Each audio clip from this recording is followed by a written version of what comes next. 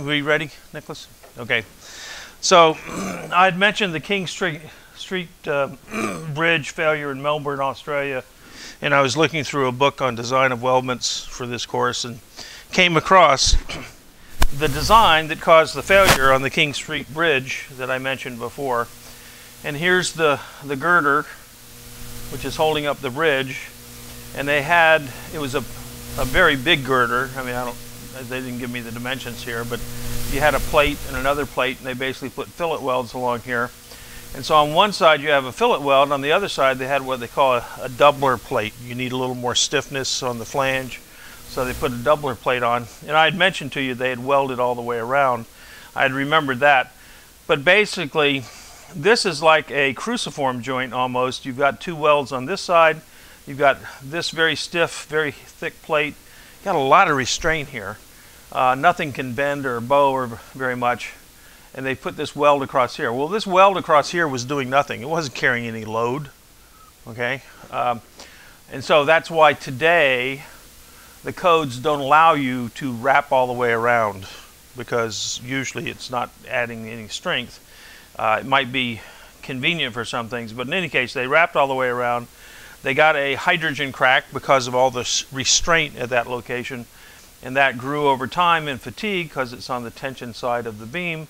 And eventually it got long enough and you got a brittle fracture and the bridge came down and oh, people all over the world were upset. People don't like bridges falling down okay? So that just illustrates some of the things that we've been talking about.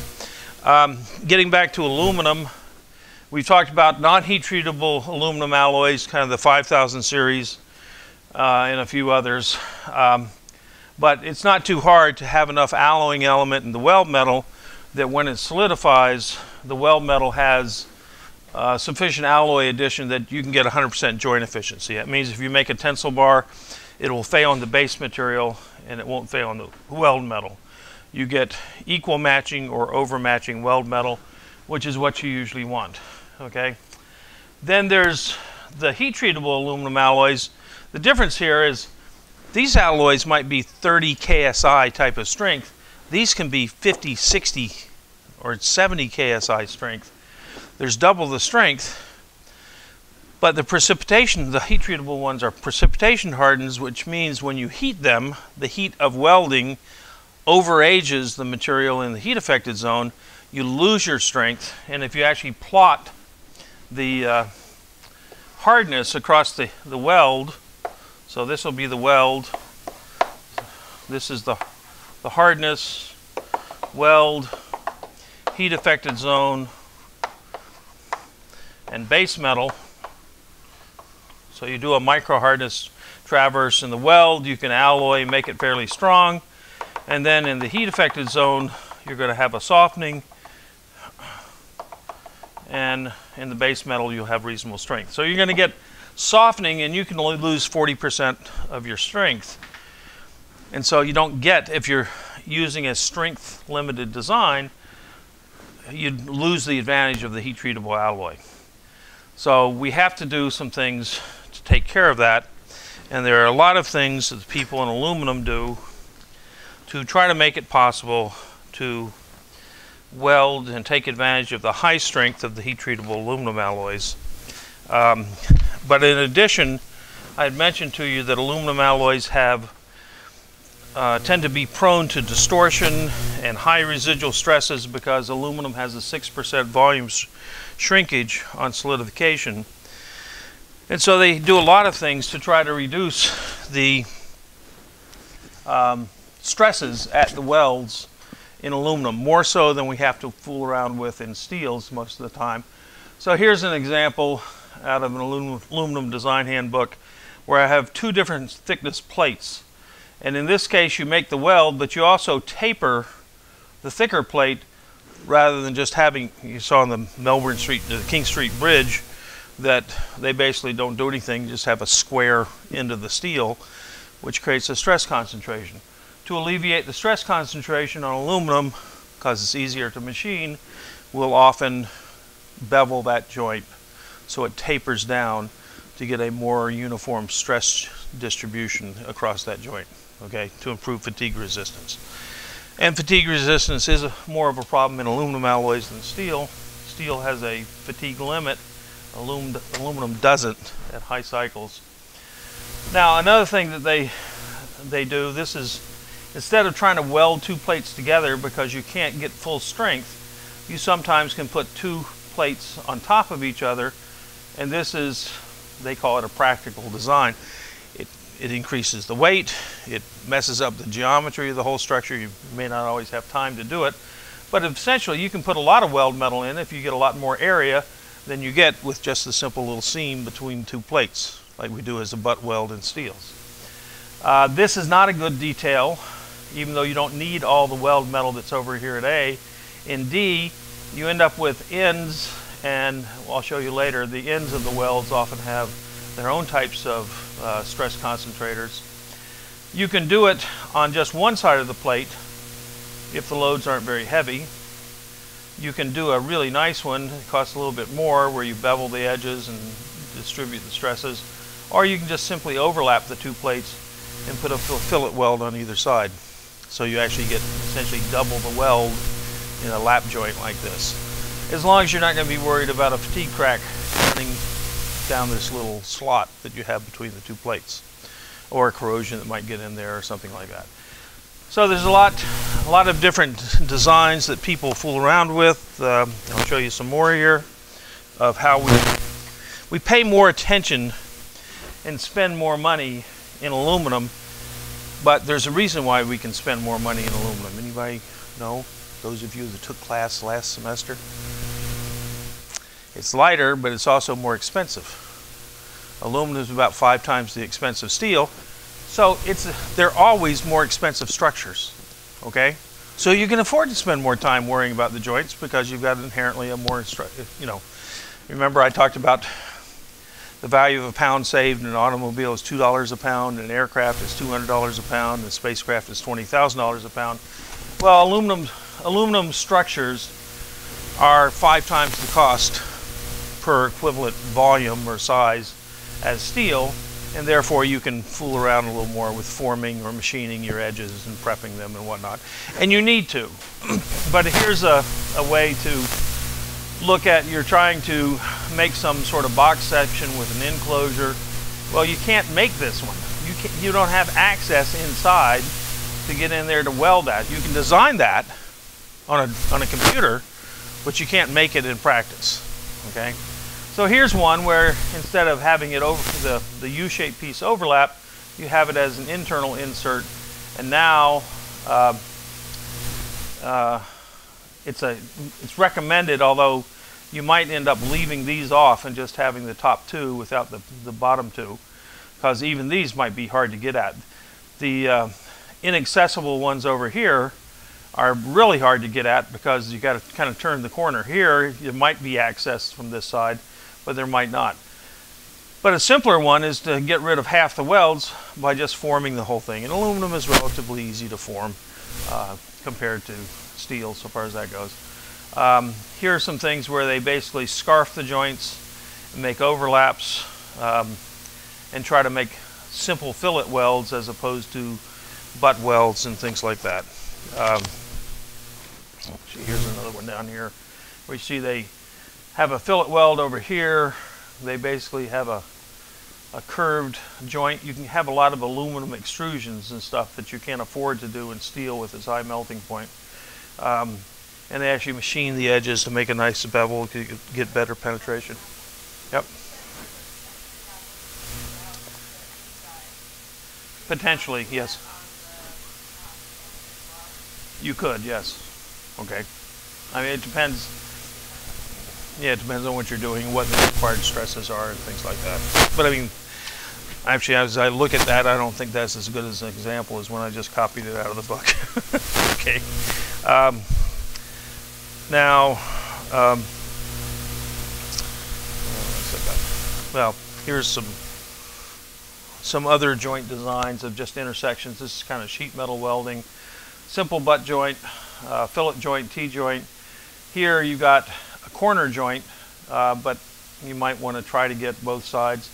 The lap joint again, again you form and you make a weld up here.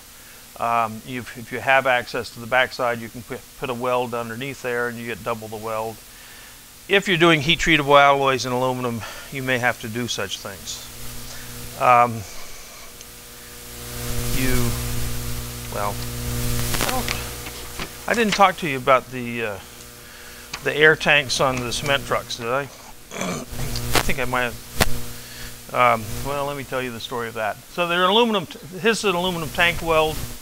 Here's the dome on the end. Here's the cylinder, and they put a backing bar in here. This is typical, uh, so that you can put the weld from the inside because it's circular. I mean, from the outside because it's circular. You could do things like this. This is a simple butt weld like we'd have in steel with no problem, but in aluminum you're liable to use a sleeve and essentially double the welds, okay, as a sleeve on the outside. But on this one, basically it's just a simple tank and cylinder. Um, and there's a story that goes with this type of joint. Um, there was uh, a company that made cement trucks. And if you drive around a cement truck, when you deliver your cement, you, it splatters all over everything, including the cement truck. And so they carry a about a 200 gallon tank of water on the cement truck with a little hose so you can hose off the, the, uh, the, the cement that you spill on everything. They also typically carry a gallon or two of sulfuric acid or hydrochloric acid, muriatic acid, because that's even better at removing dried on cement, okay? Except it's a little corrosive so far as that goes. So they don't, and they don't carry that much of it. But muriatic acid is a thing that you go to, you go to the hardware store and it will tell you it's something used to clean cement. Why? Because hydrochloric acid will react with the calcium carbonate and allow you to dissolve it, so far as that goes. I had a situation once um, where a cement truck was coming through Connecticut, going over a bridge. All of a sudden, the guy lost his steering and drove the cement truck off the bridge and killed himself. Okay, and the truck wasn't in very good shape either. Uh, you know, take 60 tons off a bridge and drop it 100 feet. You know, it's not good for the truck. Um, and the question was, why did he just drive off the bridge? Well, it turns out in the steering gear, uh, that it basically had some gears and they had corroded because he had been using the muriatic acid to clean off the underside of his truck and he had been dissolving away his gears. Okay, some of the stuff was leaking through the seals and stuff, and you know that's why his he lost his steering. So anyway, on cement trucks, you have to clean things off. Uh, they try to use water, certainly when cement is wet and hasn't hardened, you can use water. It's only when it's hardened you have to use the muriatic acid. So in any case, they had these 200 gallon tanks that they were going to put on these cement trucks. They wanted they want to keep the weight down, even though you're carrying all this heavy cement.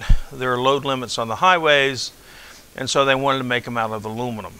Okay, so this company, very big company, um, made military hardware and stuff, but in fact, they kind of went around buying up little mom and pop vehicle manufacturers. A little company over here in Wisconsin might make fire trucks. They buy the basic truck from General Motors or Ford, which is just the cab and the the the, um, steel beams, and then they just slap on some back end of the truck and turn it into a fire truck. It's okay, and sell it for $200,000. Another one builds ambulances. Another one builds um, police cars or you know modifies cars for police cars. Another one builds cement trucks. So this company in Iowa that had been making cement trucks was purchased by this bigger company. Uh, the bigger company had a very very sophisticated military division that made a lot of our well they had when they were when they were trying to replace the Humvees and stuff in Iran and Iraq. This company had like a $40 billion contract over a couple of years to make all the MRAPs, okay? I'm not going to tell you the name of the company, but you can look it up if you want. But they're sort of a world apart from the military division and all the 50 or 60 other little mom and pop organizations. And for these 50 or 60 other little mom and pop organizations, they had, at one time, they had one engineer for all 50 or 60 of them. You're making vehicles here. You know how many thousands of engineers General Motors would have or Ford? Well, that's why these little moms and pops could compete with uh, General Motors or Ford or somebody in making a cement truck. They could buy the basic, you know, the engine from Cummins or Caterpillar and they could slap it onto a frame that they buy from somebody else and they could buy the hydraulics from somebody else. They didn't have to have an engineer. They had all their suppliers do the engineering for them. They go to a hydraulic supplier and say, oh, we need something that'll do this. And the hydraulic supplier would sort of engineer it for them and give it to them. But they weren't really engineering the whole vehicle. There was no one engineering the whole vehicle uh, for this little, these little moms and pops. They had a guy um, in Missouri or somewhere, but he basically retired. And they hired a consultant for a while, um, and he probably had plenty of work to do, I guess. Um, and then he went somewhere or something, and so they had a lawyer, okay? And he decided to do the engineering, okay? So it turns out they could make these tanks, and they just made a nice, simple little tank, just a cylinder of aluminum, and you had a dome, and it had some ports. You know, you had to bring the uh, and a flange on it. You had to bring the water in somehow, right? Um, and they put a little weld here and a weld here, and they put a weld around here, just like you see over there. Uh, and they'd weld this up, and they didn't really, I mean, the guys in the shop, well, they'd been farmers, okay? They knew how to weld. Um, and so they made a bunch of these, and then someone thought, well, maybe we ought to check and see, the lawyer thought, maybe we ought to see if there's any requirements on the design, some specifications for this. Turns out the, the cement trucks are regulated by the Department of Transportation because they have to go over the highways, right? Obviously. So he goes to the U.S. Department of Trans Transportation. He says, um, we got this 55 or this uh, 200 gallon pressure vessel. Um, you know, it's about twice the size of a home hot water heater tank, right? Uh, and do we have to uh, do we have to have any special regulations? And the uh, DOT gives them an opinion says, well, that's not part of the vehicle that you use when you're rolling down the highway. That's something you use when you're stopped. That's sort of something like it's not. We don't consider it part of the vehicle, and so we don't regulate that. Okay, it's like kind of carrying a toolbox on your truck. We don't regulate toolboxes. Okay, um, and the guy says, oh, fine. Um, and then he looks himself, this lawyer, in the boiler pressure vessel code, and it says that it excludes, uh, well, there's some exclusions in there. And the way he interpreted it, this, even though it's a pressure vessel, it would be pressurized to 55 psi because they're going to use the, the air brake pressure. There's a compressor on the trucks with air brakes at, that runs at 55 psi. They're going to have 55 psi to push the water out of here so you can hose down things. And 55 psi is sort of typical pressure in a garden hose. Okay, so that worked great. They didn't have to have the extra weight of a compressor. They could just tie into something that's already on the motor of the, the truck. And they built these things, and they didn't go and look at what the boiler and pressure vessel code said. The boiler and pressure vessel code said, hey, if you got a hole in a plate, you just got a stress concentration of factor three, you have to use a doubler plate. That's required by the boiler and pressure vessel code. But this lawyer determined, well, in his engineering judgment, okay, you don't need a doubler plate because the boiler and pressure vessel code doesn't apply. This is part of the exclusion. Well, we're not excluding science here, okay? We're excluding who regulates what. And he says, well, DOT doesn't regulate me, and I'm part of the exclusion in the boiler and pressure vessel code. We'll just keep building these things without any doubler plates, without any reinforcements, where the boiler and pressure vessel code. So we're going to ignore good engineering practice. Okay? We're just going to build these as cheaply as we can, and we're going to put them out there. Well, they did. They built 100,000 of them, and they put them out there. And aluminum, particularly in certain environments can corrode. And um, they did sort of have a warning that if you, well, they said if you ever develop a leak, send it back to us and we'll fix it. Okay, it's kind of what they said. But a lot of these shops, they got their own welders or mechanics, and so people were welding on these things all the time. Well, if it had been come under a boiler and pressure vessel code, no one can weld on it unless they have an ASME stamp, which means they're certified as an authorized American Society of Mechanical Engineers repair station. Well, these these you know cement truck companies don't have ASME certified welders or qualified welders, um, but these people didn't really know about that, and so they're welding on these things all the time. So one of these comes back for about its third time being welded on because it started leaking, and um, the guy did the weld repair, and then he takes some compressed air to check and make sure there's no more leaks. And he's supposed to be testing with 5 psi air, which is typical way to test a, an oil tank for someone's home or something. Because 5 psi, you're not going to generate enough pressure. Even if the thing does break open, it's probably not going to kill you. Well, for some reason, they didn't have a regulator on there, and he was using shop air at 100 psi and he fills it up. And frankly, he should have realized it took a while to get up to 100 psi. Maybe he kind of had left it on there or something, went and did something else. But in any case, the thing blows. He's standing right towards the end. The end cap comes off, and they find him 100 yards away up against a dumpster in four pieces. Okay, it was pretty gruesome so far as that goes.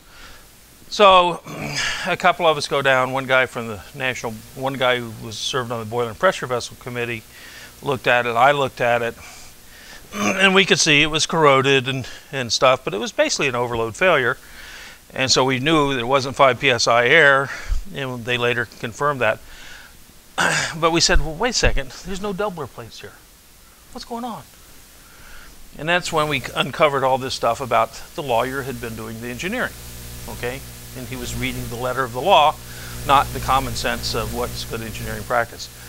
Well, my friend from California who used to be on the boiler pressure vessel code committee, he said, well, as a professional engineer, he knew that this type of vessel was actually required to be inspected in Pennsylvania, which is where this occurred. The boiler pressure vessel code is really written not as a federal law, but every 50, all the 50 states have incorporated the boiler pressure vessel code into the law in one way or another.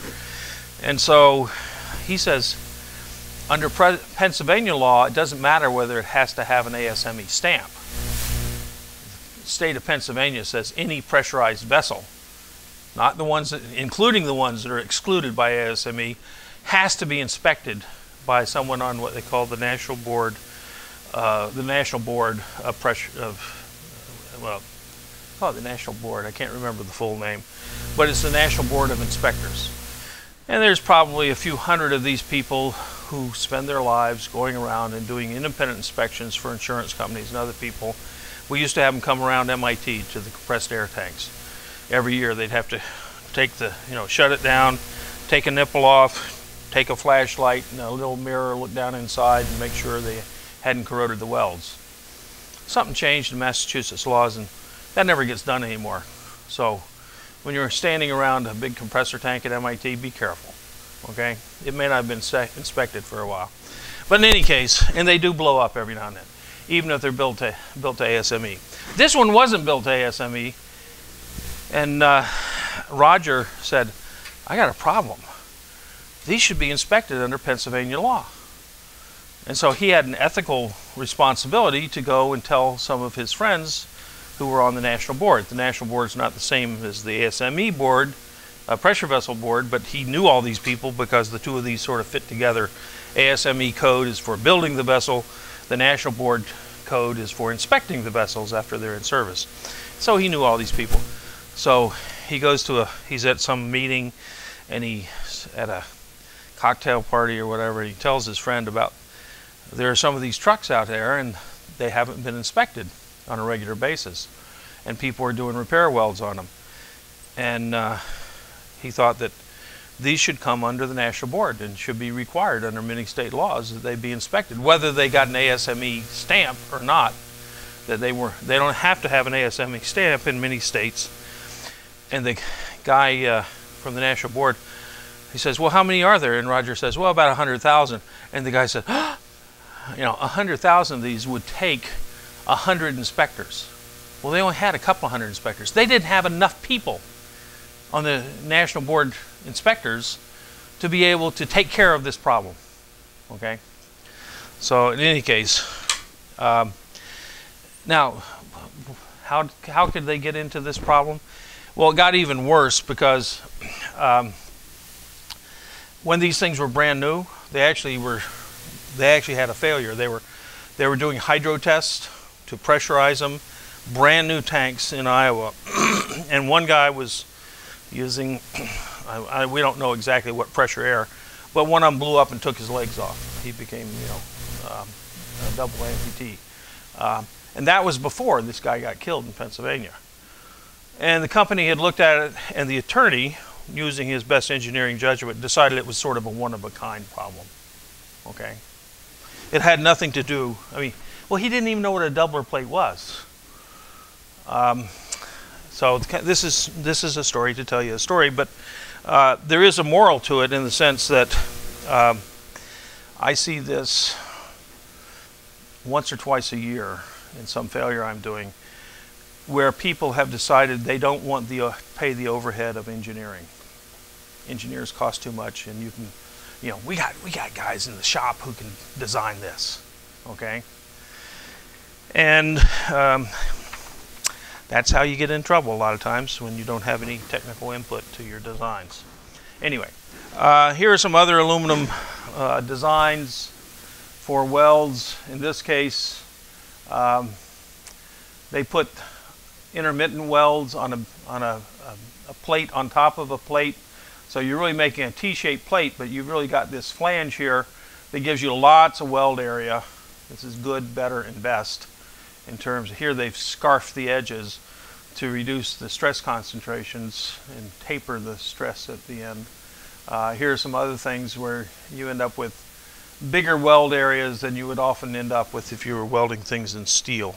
Okay, uh, here's actually the more common one in steel, if you were trying to weld a pipe onto the web of a, uh, a steel I-beam, you just put the pipe up there, cut it at an angle, and put a little fillet weld around the tube.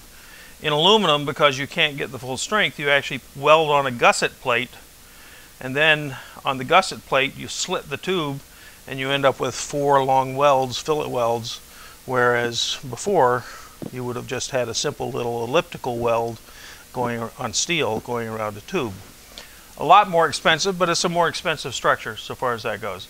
Here again, scarfs, so you taper your stresses, things that we don't usually have to do in steel. So there's design of aluminum weldments is certainly requires a lot more thought for the stress and load paths than we usually have to worry about in steel. Steel, you just sort of slap it together and it usually it holds. Now there are a number of types of defects that you can have in aluminum, but it turns out most of them, or many of them, are not terribly harmful. We do have a problem with uh, hydrogen. And here's the solubility of hydrogen as a function of temperature uh, with steel. When it melts, it has a very high solubility. What's the units here? Cubic centimeters of hydrogen per 100 grams of aluminum. That's one of the things we use with steel.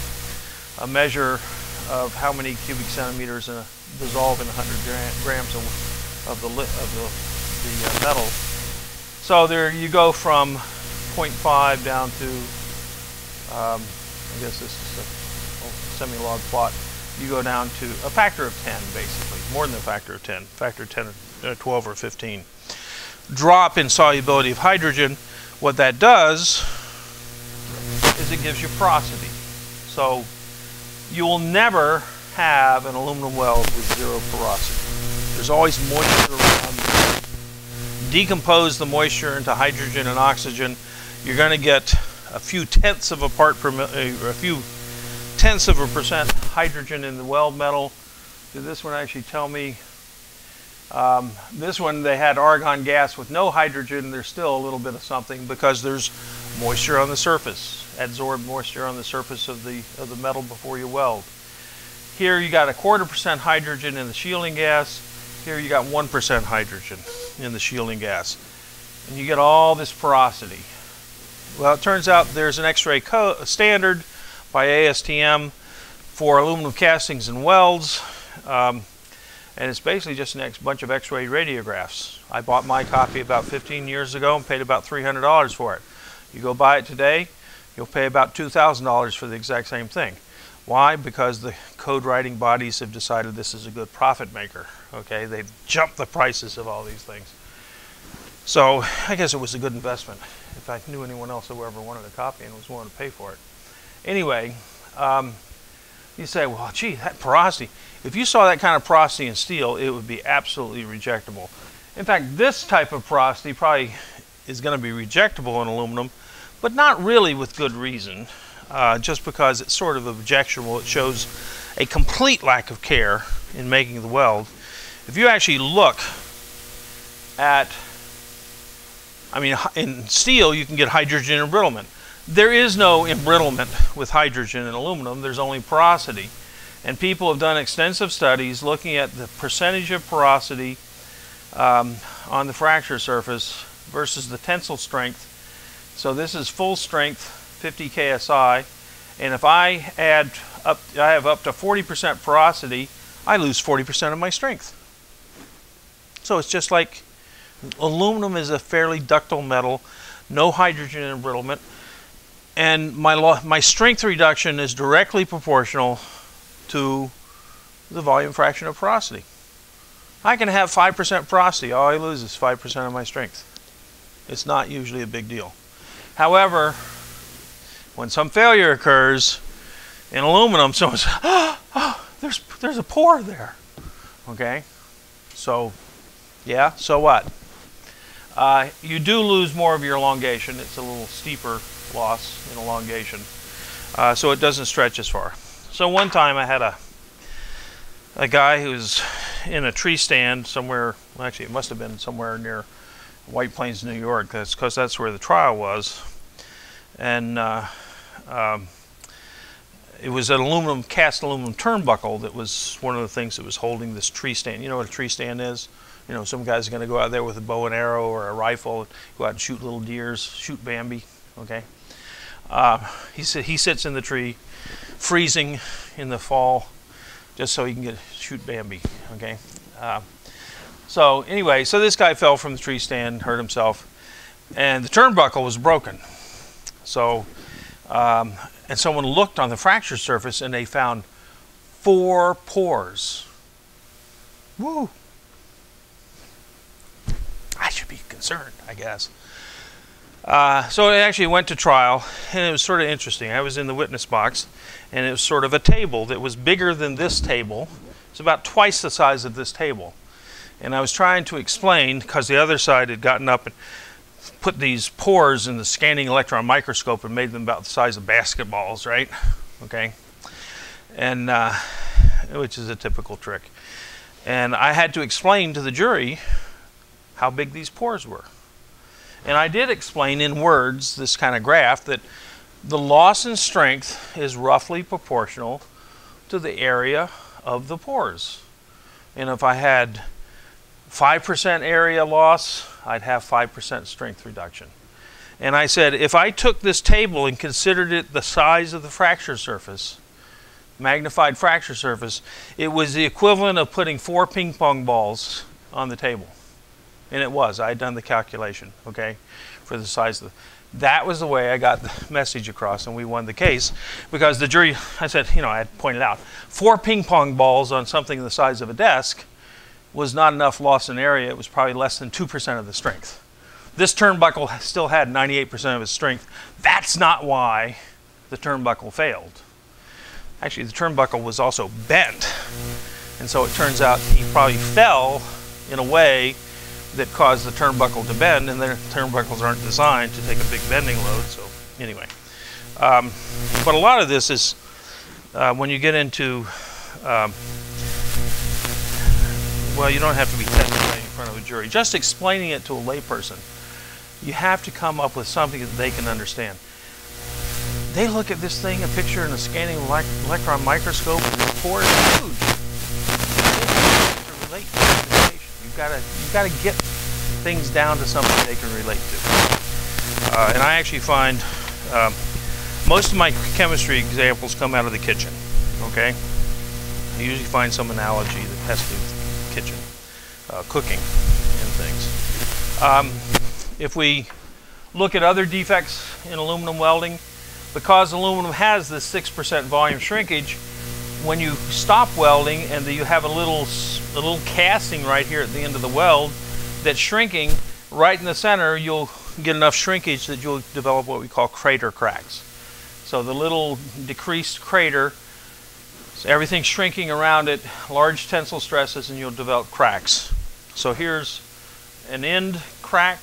Whenever you finish the weld, you often, well, if you don't have the right technique, really you'll get a crater crack. What you should do if the guy's welding along and moving along, they at the end before they turn the power off, they should stay steady. They should stop and melt extra aluminum so you form a mound and don't leave a concave crater. Okay? You put extra metal in there, and now when the thing solidifies, it has enough, in casting we call it, it has a riser head to feed molten metal to fill the region that's solidifying and shrinking. Okay, so you're just making a little casting. You just have to create a riser, a little head of molten aluminum.